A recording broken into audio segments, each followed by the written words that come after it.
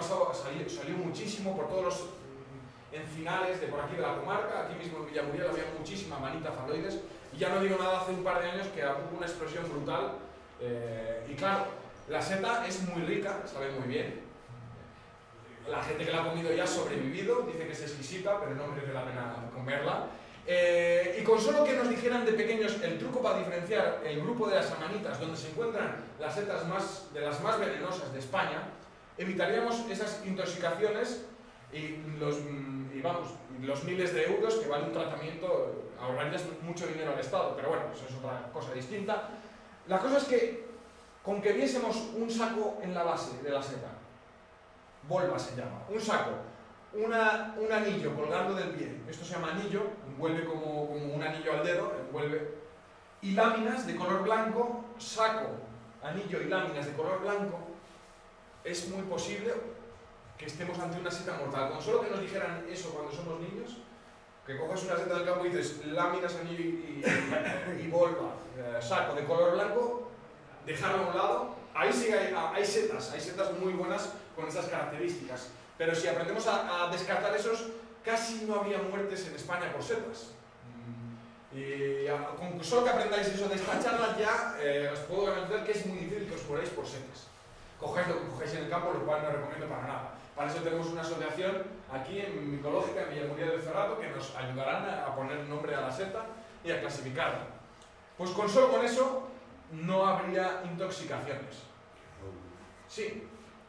Es que recomendar a la gente que vaya por setas que cuando corte se fije primero si en parte de abajo, la bomba que ha dicho, que es lo que envuelve al, al pie, que no corte la seta, porque puede ocurrir que las paloides tiene tonos amarillo verdosos, puede ocurrir que tenga tonos, año en dueñas, teniendo tonos muy blanquecinos. Sí, sí. Parece un champiñón. Claro. Y el ansia arriba, que diría el mota, hace que vayamos con la navaja Claro, sin ver, sin observar que la borba, y eso te puede salvar la vida. O sea, cuando cortéis algo, pues, el, observad que la borba que habla Raúl envuelve al, que envuelve al pie. Porque si cortáis y va a la cesta, tenéis la, la Claro. segura. Uno corta por aquí, como dice Sí. Anselmo, y te, te quedas sin ver ese detalle que estoy diciendo que es importante, volva, anillo y láminas. Entonces, eh, fijándose en eso, uh, sacando entera la seta, que es lo más correcto casi para hacer el total de las setas, el níscalo, por ejemplo, que hay mucha tradición de cortarle, realmente es más correcto a nivel ecológico y biológico, y le viene mejor al hongo mm, que produce el níscalo, al lactarius deliciosus, le viene mucho mejor arrancarla en vez de cortarla, pero bueno, la gente, mm, uno piensa que es como una planta, eh, que cuando cortas, o cuando cortas una rosa en un rosal, pues si lo cortas bien te sale otra nueva rosa ahí en el punto, con los hongos no, Eh, los hongos conviene casi todos arrancarlos, y La de cardo no. la de cardo no, es, eh, la de cardo no, los, eh, las especies en general, las saprófitas no hay que cortarlas y las micorríficas así que, eh, las, al revés, las saprófitas hay que cortarlas y las micorríficas hay que sacarlas. Pero bueno, hay que saber qué es, cuál es y cuál es micorrífica. cardo no, porque por debajo de donde tú cortas hay otra más pequeña que va a crecer. Si la arrancas, esa pequeña ya. Está el cardo, la seta de cardo, como crece en la raíz del cardo, está íntimamente unida al cardo. Tampoco hay forma casi de, de arrancarla. Vas a dañar eh, y luego eso, si tienes otra setilla ahí abajo de la seta de cardo que te puede producir otra seta, pues la puedes destrozar si arrancas. La seta de cardo hay que cortarla. Y, y este sería un ejemplo, pues así de fácil distinguiríamos. Pero hablando de toxicidad, la gente dice, Amanita faloides es tóxica, es mortal. Vamos a darle una patada, hay que destruirlas. Eso es una cosa que la gente, cuando uno va por setas, piensa que las setas se comen o no se comen, que no hay más. Cuando realmente las setas tienen muchísimas funciones. Incluso una seta que aparentemente es mortal, que es mortal para nosotros, un conejo puede comer amanita faloides en gran cantidad y no le pasa nada. Porque cada sistema digestivo funciona de una forma distinta.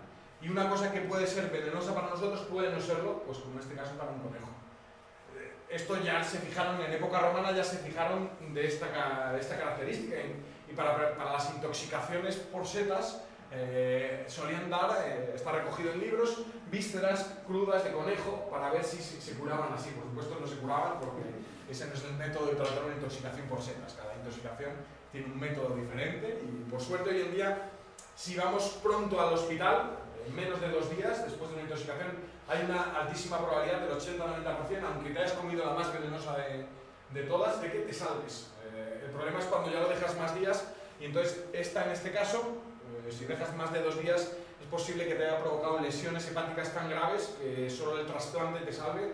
Incluso el trasplante, debido a que tu estado eh, de salud es tan delicado, no pueden hacerte un trasplante y entonces te mueras. por suerte, eso, con, antes de dos días, a ser posible el mismo día, uh, para que te hagan limpieza de estómago y te saquen la seta. Pero eso sería otro tema distinto, la toxicología de las setas. Seguimos recorriendo hábitats del sur de la provincia del Cerrato, nos vamos a los quejigares, que en este caso el quejigo es otra especie parecida a la encina, muy parecida, pero tiene la hoja más grande, más plana, menos dura, menos dignificada. La llaman por aquí el roble. Eh, en el Cerrato le llaman al quejigo roble. Y dentro de la zona del Cerrato va a elegir los lugares más húmedos. La encina soporta lugares muy muy secos y a veces ahí no puede estar el quejigo.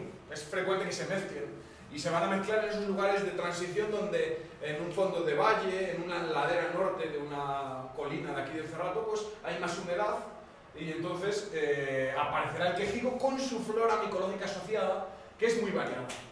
Seguro que más de uno, si le gustan las setas, ha ido al, al monte aquí mismo a Villamuriel o Palencia o los alrededores y ha visto en algún momento una seta de hasta 40, 30, 40 centímetros. Estas, esta seta es muy muy característica de esta comarca, casi exclusiva, no la vamos a encontrar en otros lugares de Palencia y es realmente impresionante. No tengo una foto yo agarrándola como en el otro caso, mira, para otro, para otro momento, para otra charla sí que la, la puedo sacar. Es una seta bastante frecuente y es la manita blanca, la llaman, eh, y puede hacerse enorme eh, y realmente impresionante. Eh, como toda manita, tiene un saco, tiene un anillo... ¿Dónde está el anillo? En este caso, curiosamente, el anillo se desgarra y se queda pegado en el sombrero. en general, todas las manitas tienen un saco, un anillo y láminas normalmente de color blanco. Y esta es muy característica con su gran tamaño y es inconfundible. Es una seda comestible, pero muy, a mi parecer, la he probado muy, muy mediocre. Recuerdo que hace cosa de 10-15 años, eh, estaba yo de estudiante en la universidad, llegó un chico con una cesta, un cestón, con cinco ejemplares enormes de esta seta. Entonces yo se la clasifiqué y le dije, puedes comerte la seta sin ningún problema. Es la manita boidea, es una seta que no te va a saber buena, es bastante mala. Pues sorpresa, que si eso fue el lunes, después del fin de semana, que se había cogido el fin de semana, no volvió a clase toda la semana yo pensé, uy, uy, uy, que se ha metido alguna que no es, tal.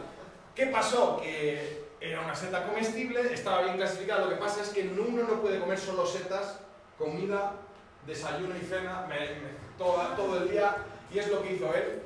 No sé si querría ahorrar en, el Mercadona o lo que fuera. La cosa es que comió tanta seta que las setas de por sí son indigestas, solo comió setas y tuvo una indigestión severa y uno se puede ir al otro barrio por una indigestión. Las indigestiones son cosas serias y por suerte no fue una intoxicación producida por otra especie, una especie parecida, más pequeña, que se llama manita próxima, que es muy muy parecida pero tiene el saquito de color naranja. Esa es la, la diferencia. Pero bueno, una seta muy rara del cerrato, es muy rara en todos los libros, pero aquí hubo hace un par de años, eh, aquí es frecuente, todos los años casi se la suele ver aparecer uno o dos ejemplares, es muy bonita, eh, y hace un par de años hubo una explosión. Hace dos años. Una explosión brutal. Por todo el Monte Viejo, en Palencia, estaba llenísimo de esta seta y por fin descubrimos si era tóxica o no. Porque en los libros no lo saben decir, de lo rara que es, en pocos libros no, te suele poner que es tóxica por precaución, porque hay otras parecidas que es tóxica. Pues ya sé de una persona eh, de Palencia que comió esta seta y fue al hospital. Ya sabemos que es tóxica, ya lo puedo decir con seguridad. Te digo que cuando la encontráis es, es, muy muy bonita, tiene un rosado muy, muy bello por arriba. En cuanto la tocas, esto es mi dedo, que la agarré para colocarla para la foto, se te cambia de color azul y cambia todo de color azul. La esponja también si la tocas se pone de color azul. Aquí como hay mucha luz allá no se ve muy bien. Y es una cosa curiosa y a veces muy abundante. Y para casi acabar el hábitat de los quejigares, eh, zonas eh, más húmedas dentro del cerrato, es donde se localiza el quejigo, destaco esta especie, eh, una especie que si bien la encontramos y la cogemos si es dura como la madera, realmente la coges y es como corcho, no la puedes casi, la intentas doblar y no la doblas, resulta que es una especie que ya es consumida no por sus gustos culinarios, porque sabe mal, huele terroso como a moho, sino porque tiene una cantidad de virtudes medicinales eh, brutal. Eh, el tema de los hongos medicinales es muy interesante, no vamos a hablar de ello, pero sí voy a descargar esta especie dentro del hábitat de quejigo. Es, si bien no es muy abundante, cuando la encuentras en un sitio, año tras año vas a encontrarla en ese mismo sitio, vas a salirte una nueva seta y la puedes llevar y hacerte unas infusiones en casa. Eh, estimula el sistema de, de defensas de nuestro organismo, mm, una enfermedad te dura menos, los estudios que se han hecho, por ejemplo, con herpes eh, labial, con las calenturas, eh, procesos gripales, tiempos de convalecencia en hospitales, se les dieron a pacientes la seta y a otros no se les dieron, se les dio un placebo, y los que consumían la seta salieron antes del hospital. Y aparte, eh, tiene un montón de propiedades y especialmente se ha visto, se aconseja como ayuda en determinados cánceres donde se ha visto muy efectivo. pulmón, próstata, pecho y leucemias, por determinadas moléculas llamadas triterpenos que actúan eh, destruyendo células tumorales, en el, caso del cáncer de pulmón, inhibiendo los receptores prostáticos para que no se desarrollen tumores, bueno, cosas técnicas que si ves un médico igual le gustaría que siguiese hablando, pero no es, no es el caso. Eh, es una seta que si la sabemos reconocer, la podemos coger, la secamos en un radiador en casa y cuando vamos a coger un catarro, con solo un gramo de seta, te haces una infusión, te lo tomas y las posibilidades de que al día siguiente se te haya pasado los síntomas del catarro son elevadísimas, porque multiplica por 6 la velocidad de formación de defensas de nuestro organismo. Eso implica que tu organismo es 6 veces más eficaz a la hora de luchar contra una enfermedad, con lo cual al final, si está ahí la lucha entre eh, la bacteria y tú, la bacteria y tú, que es cuando te pica la garganta, te salen llagas en la boca, tal, te tomas la seta y acabas ganando tú. Eso lo tengo muy probado ya con mucha gente, eh, esta seta se puede encontrar en herbolarios, en, casi cualquier herbolario o farmacia en que uno pregunta por Reishi, ya te la venden en frasquitos, el polvo de seta puro, y, que, para, para, ayudar en, muchos problemas. Y para acabar el hábitat este, el hábitat de los quejigares, pues setas bonitas, eh, buenas comestibles, sencillotas de identificar, como es la seta de cardenal, que tiene unos tonos eh, como cuando te dan un golpe y te sale un cardenal, por eso se llama seta de cardenal, y que la hacen bastante inconfundible, que es que le gusta esconderse dentro de las marañas de quejigo. Donde vemos muchos árboles de quejigos, a finales de temporada ahí es donde tenemos que buscar porque es una seta que no le gusta nada la luz del sol. Eh, va a aparecer, el hongo va a fructificar dentro de los, los encinares, de las matas de quejigos, y acabamos este hábitat con la seta higrómetro. Se puede encontrar prácticamente todo el año y tiene una cosa muy curiosa que les encanta a los niños.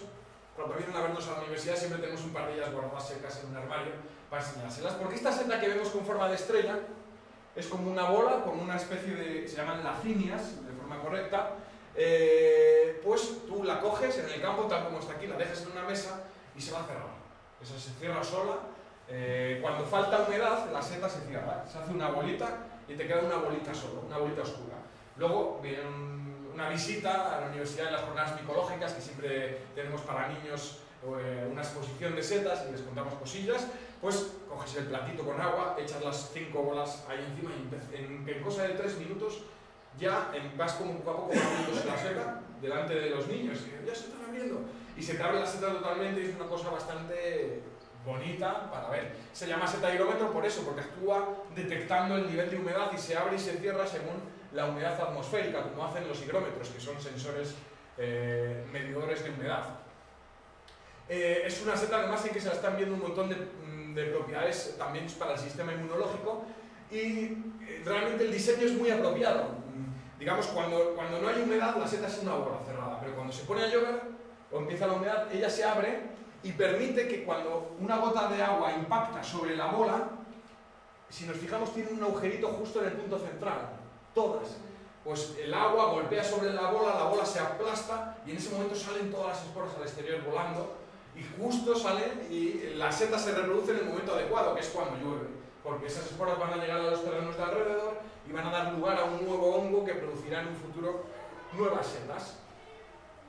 Y quedan un par de hábitats para acabar. Nos vamos ahora a eh, los pinares de repoblación que están protegiendo las laderas de todas nuestras colinas alrededor de Palencia, aquí en Villamuriel. Eh, en que si no existieran, pues la lluvia seguiría erosionando y seguiría eh, con, llenando de, sus, de, detritus nuestro río, eh, nuestros ríos y con, impidiendo que se desarrollara mucha fauna piscícola o determinadas plantas. Bueno, un hábitat muy característico en que llueve poco, eh, está muy inclinado y tiene sus setas, en algunos casos exquisitas y apreciadísimas.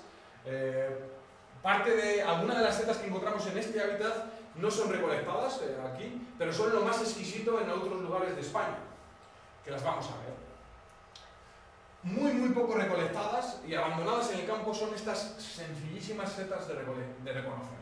Son unas setas que se llaman mocosines o babosines, porque son, por arriba las tocas y te pringas, como si fuera moco o baba, y es una característica muy interesante. Si vas por un bosque de pinos, estamos hablando de un hábitat de pinos, te encuentras una seta viscosa por encima y con una esponja amarilla por debajo, ya está. Estamos seguros ante un muy buen comestible que a veces llega a ser tan, tan abundante que la gente no lo recoge pensando que es tóxica. Dice, esto no puede ser bueno. Hay tanto que no puede ser bueno. Porque llega a invadir eh, algunos pinares del cerrato de forma enorme. Bueno, tienen otras características, esta exudación de gotitas, que, que, cuando se secan dejan marcas en el pie, eso es muy característico del grupo de los suibus, donde están englobadas eh, los mocosines. Aquí tendríamos otro mocosín más claro, pero también tendría la esponja por abajo y viscoso por arriba.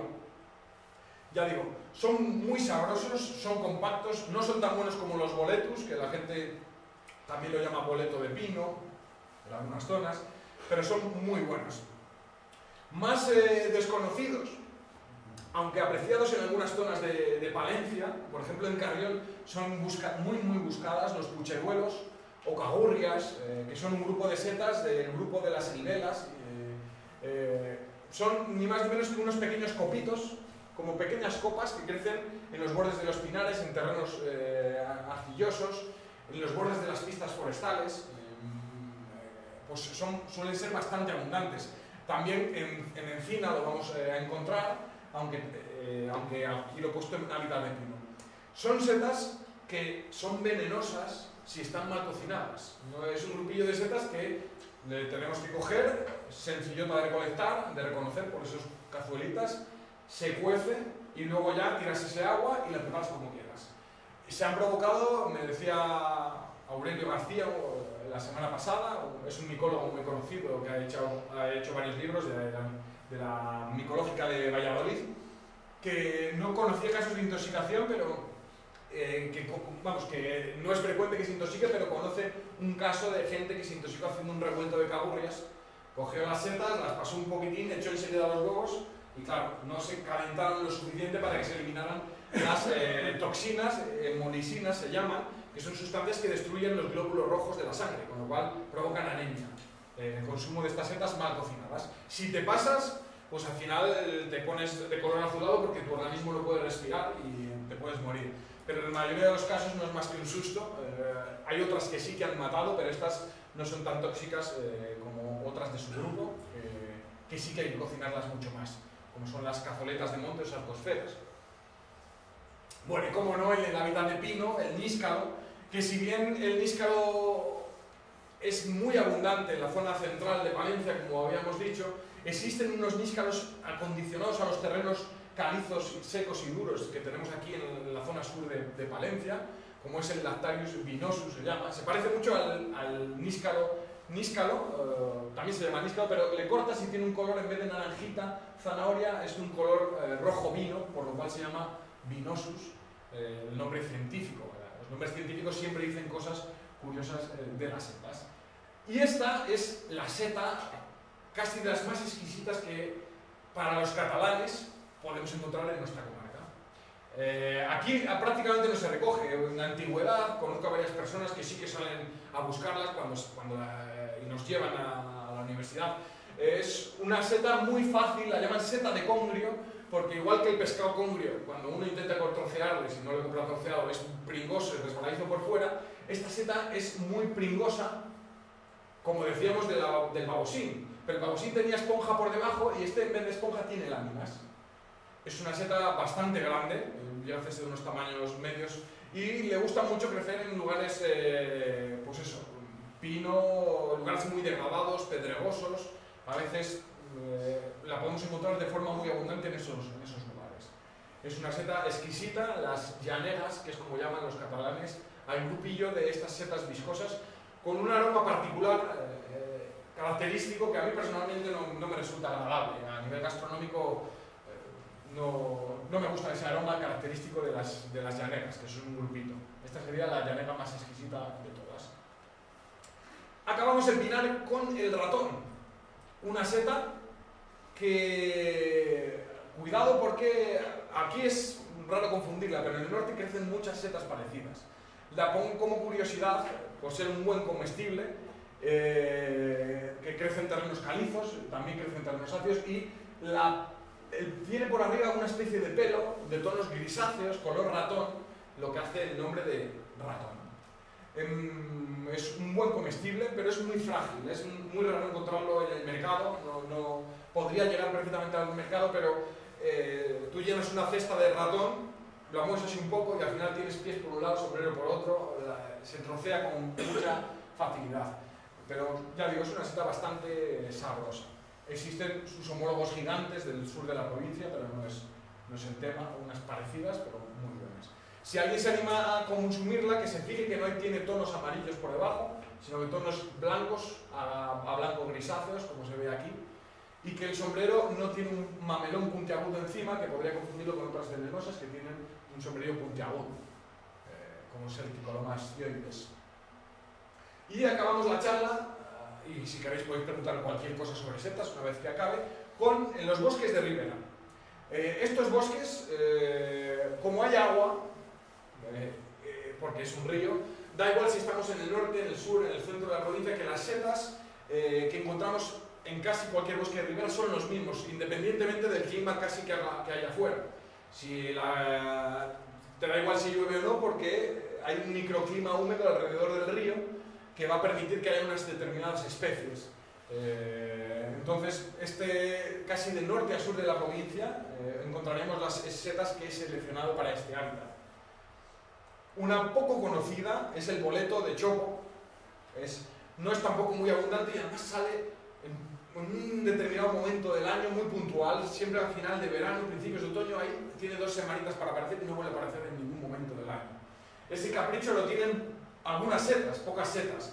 Eso, claro, estamos hablando aquí, en el norte de, España, eh, en ese momento de verano, pero posiblemente si bajamos al sur se atrase más o se, adelante. Eso es muy frecuente con, con otros hongos se agarra, el hongo está agarrado a las raíces de los chopos y cuando llega el momento ya forma el, forma el primordio y sale la seta que vemos aquí, que pueden ser unas setas de hasta medio kilo o incluso 800 gramos, yo he visto, una sola seta.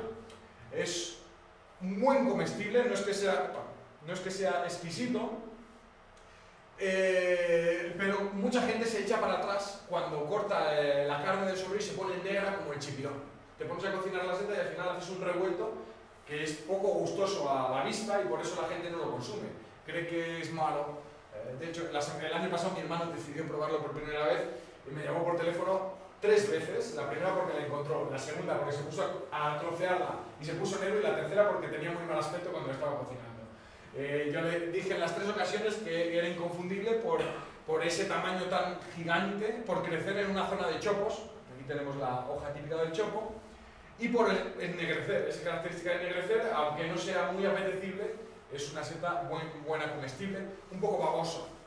Si no la coges eh, jovencita y, carnosa, eh, se puede hacer un poco babosa. Y terminamos la charla con las dos típicas setas de ribera, las llamadas seta de chopo 1 y seta de chopo 2. Eh, yo las he separado, seta blanca de chopo es como llaman a esta, ese problema de los nombres comunes. Los nombres comunes aquí se llama seta de chopo, pero la misma seta va a crecer en todo el planeta asociada a la madera de chopo y otras frondosas y cualquier parte del mundo va a tener otro nombre totalmente distinto. Eh, mientras que los nombres científicos, agrocide, higuerita, ese es inconfundible. Puede ser que a Japón que dices lo que quieras y dices higuerita y si el que sabe, el que está contigo es micólogo que sabe de setas, va a saber exactamente que te estás comiendo esto Para eso son los, nombres científicos, para que todo el planeta se entienda a nivel, eh, en este caso, de los hongos. Es una seta exquisita que crece eh, ahora mismo en verano. Yo eh, la semana pasada, cogí, este domingo, cogí una seta de chopo. pues crece en, los, en la madera de chopo de esta forma tan característica que es con los pies unidos en un punto. Es lo más frecuente. Salen todos los pies unidos de un punto en forma de ramillete, lo cual ayuda a identificarla. Eso lo juntamos a que tiene este anillo eh, colgando de pie y a estos colores que vemos aquí en la diapositiva, que es más oscuro por el centro y más clarito hacia afuera, de un color marrón clarito, hasta y hace que sea bastante inconfundible y por ello eh, está muy metida en la tradición popular y muy consumida en numerosas zonas de la provincia. La otra seta de chopo eh, típica, que es la que encontramos en el supermercado, es la seta gris de chopo o seta de ostra, que también crece normalmente así con pies unidos. Aquí vemos cientos de cabezuelas que van a dar origen a esta seta grande que vemos aquí. Entre ellos va a haber como una especie de lucha y solo los más grandes van a sobrevivir, los demás van a ser eh, eh, abortados o reabsorbidos por el hongo que vive dentro de la madera. Y va a producir esta seta que es la misma que encontramos en bandeja pero encontrada en la naturaleza. Es eh, muy similar a la seta de cardo en cuanto a la forma y es un muy buen comestible que además tanto la silvestre como la cultivada, tiene en su composición eh, una molécula, que es una estatina, que si consumiésemos gente que tiene el colesterol un poco que se le va, si consume de vez en cuando la seta de chopo, le va a ayudar a regular el nivel de colesterol. Porque realmente el, medicamento que uno se toma para reducir el colesterol realmente viene de cultivos de hongos que producen esta molécula. Eh, antes de pasar al medicamento, uno puede empezar a consumir un poquitín más de setas para ayudarse. Y si no quieres recogerla en el campo ni comprarla en la tienda, puedes hacerte un cultivo casero de setas en casa, como hice yo aquí, que es, si encuentras la madera donde crece la seta, como en este caso, ahí no hice ni cultivo, cogí la madera, me la puse en una maceta y la regué en casa. Y vas a tener varias cosechas de hongos. si lo tienes dentro de casa, da igual si afuera hace frío o calor, que está ya muy a gusto en casa, te va a producir tres o cuatro cosechas de setas. Y si no, te puedes hacer tu cultivo casero de seta de chopo de forma muy muy sencilla. Eh, coges un cacho de madera, eh, en este caso, bueno, me parece curioso, es un, es un banco de madera que monté en el campo, eh, en, internet, antes me puse con ello. La cosa es que tú coges un cacho de madera, lo consigues setas de chopo, bien del supermercado o bien de la naturaleza, y haces una pasta con todas las setas de chopo. Bueno, esta sería la fórmula matemática, podríamos decir. y aquí está la explicación coges un tronco de madera de chopo, madera de encina, la madera de encina nos valdría igual, la cosa para calentar en, casa, incluso te va a producir durante 3 o 4 años setas de chopo, eh, porque tiene más madera para comer el hongo, también va a tardar más, más en aparecer. Le metes el tronco varios días en agua en la bañera y le haces unos agujeros con un tirafondo, con y ahí metes la pasta de seta, machacas eso con una batidora, con agua, haces una pasta de setas, lo metes en el agujero de, hecho en el tronco simplemente eh, el tronco lo envuelves con plástico, lo pones en una, en una maceta y eh, cuando acaba unos tres meses levantas la bolsa a ver si el tronco se ha puesto de color blanco. Si se ha puesto de color blanco, éxito seguro.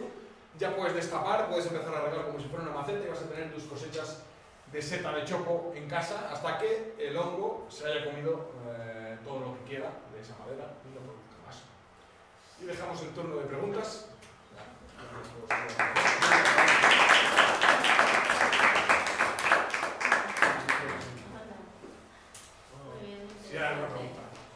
No tiene por qué ser una charla, si tenéis alguna intriga sobre el mundo de los hongos y yo puedo resolverla. Yo sí una pregunta. Sí. ¿Se casa que se comía el conejo, luego se comemos el conejo nosotros? Claro. ¿Qué pasa? Buena pregunta. Claro, es que yo no pensé, digo, pues, luego nosotros claro. comemos el conejo. Eh, la, la, cosa es, por ejemplo, si, eh, si la toxina el conejo la destruye, no pasaría nada en su digestión. Habría que ver cómo funciona la digestión del conejo y si es capaz de destruir las amanitinas, que son unas moléculas muy estables, muy grandes, eh, pero posiblemente igual el conejo no le hace efecto porque simplemente no es capaz de absorber la, la molécula venenosa y la excreta. Entonces ese conejo, como tú le limpias antes de comerlo, no pasaría nada. No sé si me explico. Ya, ya, ya, sí. De hecho, nos intoxica a nosotros la manita faloides porque tenemos un sistema digestivo que es capaz de coger unas moléculas enormes y meterlas dentro del torrente sanguíneo. Tú te comes la seta, y nuestro sistema digestivo está muy evolucionado y es capaz de triturar todo y las cosas grandes incluso meterlas dentro. Eh, otros organismos no son capaces de digerir las amatoxinas, que son los venenos que tienen estas setas letales, y es posible que por eso el conejo no, no se vea afectado. De hecho, como no hay intoxicaciones por comer conejos silvestres, lo más lógico es pensar que, que la seta de venenosa no, Bueno, eso no pasa nada. que hay ahora. También la turalemia y todo eso. Claro, la turalemia, las enfermedades, sí. Sí, uf, sí, eso mucho es- cuidado ahora con los animales. Sí, sí, sí. Sí, Eh, mencionaste este hongo que tiene la forma de un balón. sí. ¿Y cómo es el ciclo de, de, de- de la producción de él? ¿Cómo sabemos cuándo ya está lista para cosechar? Claro. ¿Por días? ¿Por Ajá. tamaño? Sí, mm, realmente ese hongo puede quedarse estanco de este tamaño y pudrirse, y puede quedarse estanco de este tamaño, bueno, tanto igual. De 30 a 40 centímetros se han encontrado en el campo, que son unos 20 kilos. La forma es, se consume cuando el interior está blanco y compacto. Entonces tú le encuentras en el campo, cortas una lámina y si ves que ya está blanco y compacto por dentro, la puedes cosechar. Pero tradicionalmente en algunas zonas de España no se llevan todas las de entera para casa porque hay tanta comida ahí que al final se, se pudre y la tienes que tirar. Lo que han hecho, por ejemplo, algunas zonas de montaña, pastores, porque es una seta que si bien creció en el cerrato también lo hace... Se pensaba que era solo de zonas de prados húmedos de alta montaña, pero ya se ha visto que crece desde viñedos, que nos han traído setas, hasta el año pasado por aquí por el cerrato en muchos lugares. Pues eh, lo que se ha hecho tradicionalmente es se corta, se ve que está blanquecina, pues te llevas la lámina para casa y te la comes. Al día siguiente vienes, cortas otra lámina del campo. Y como, el hon- como la seta sigue agarrada por la parte inferior al hongo, pues sigue habiendo un intercambio de sustancias, sigue creciendo la seta, sigue... entonces no se te va a pudrir. Es una, una forma de que se consume algunas localidades. Curioso. No es que sepa muy allá, es más la curiosidad que otra cosa. Rebozada me han dicho que está buena. ¿no? Sí. Sí. Es una cosa. Poner la razón por otra vez. Aconsejar a la gente no comer ni mucha cantidad, ni muy, ni muy continuo de diario la seta. De cualquier tipo de seta. Pues Es la queratina, Eh, claro, para empezar todas las setas son bastante indigestas porque tienen fibra, mucha fibra fúngica que no se asimila. Es como comerte queso concentrado, podríamos decir. Que eso va muy bien para algunas personas. eh, eh, pero luego tiene muchas sustancias que no se asimilan, entonces pasan y se van. Si comes mucho, las, posibilidades- de indigestión son elevadas. Pero aparte, la mayoría de las setas tienen sustancias tóxicas para defenderse de los animales de alrededor. El boletus edulis, el boleto que nos comemos incluso crudo en carpacho, tiene sustancias que se han visto que son dañinas en exceso. Porque pensemos en el hongo. Un ser vivo, el hongo vive bajo tierra y decide formar la seta para reproducirse. Si viene un animal y se come la seta, ah, mm, y un champiñón, por ejemplo, conforme si viene y se lo come, ese champiñón ya no va a estar produciendo setas durante todo el tiempo que esté en el campo lanzando setas al aire, eh, esporas al aire. Entonces han evolucionado desarrollando sustancias, en algunos casos, para que los animales del campo no se los coman para poderse reproducir durante más tiempo. No sé si me explico. Es una defensa. Sí, es una defensa para que no se lo coman. En otros casos es al revés. Las trufas, la única forma de dispersarse es al revés. Ser muy ricas, ser exquisitas, oler muy bien. Y por eso viene el jabalí, escarba y se la come. Eh, porque su- es su única forma de salir bajo tierra y volver a dispersarse por el terreno. Entonces hay setas que se sabe que desarrollan toxicidad para protegerse, mientras que otras eh, se sabe que son comestibles porque es su forma de reproducción. Tiene mucho que ver eh, eh, que sea indigesta, menos indigesta o más, con si deja el hongo que se lo coman los seres vivos de alrededor. No sé si- las- la senderola, por ejemplo, eh, la senderola que hemos visto que forma los corros de brujas, pues desarrolla un gas letal para los moluscos. Suelta durante toda su existencia en el campo, está soltando gas, gas, gas, gas, y si viene una babosa intenta comérselas, se envenena. Entonces nunca, nunca veremos senderolas comidas por babosas y por moluscos, eh, sean porque desarrolla gas cianhídrico que es letal para estos, para estos moluscos. Entonces cada uno tiene un- una estrategia. Es una estrategia botánica muy clara para las plantas. Sí, sí. A mí me refiero más que nada a la creatina, es decir, un Mm. carbohidrato propio Y plaquitina, plaquitina. eh, a la creatina plaquitina. Y que tiene pues todos los artrópodos, Los insectos. eh, claro. insectos y tal. Y es, una, es un, un carbohidrato que no digiere nuestro cuerpo. Claro, es Por tanto, por tanto, no es aconsejable ni comer todos los días, ni comer mucha cantidad. Y él no ha producido eh, Claro. un, una comida, una, ojo, que me siento. De hecho, porque nuestro cuerpo no lo digiere, nuestro organismo no está diseñado para ello, y en consecuencia, las digestiones son bastante más pesadas. Claro. Sí, sí, sí. Aparte de que tiene la defensa eh, Aparte de la defensa química todo el que mundo tiene botánico, las plantas y. para perpetuarse, claro, pero Sí, sí, sí. Claro. Sí, sí. sí.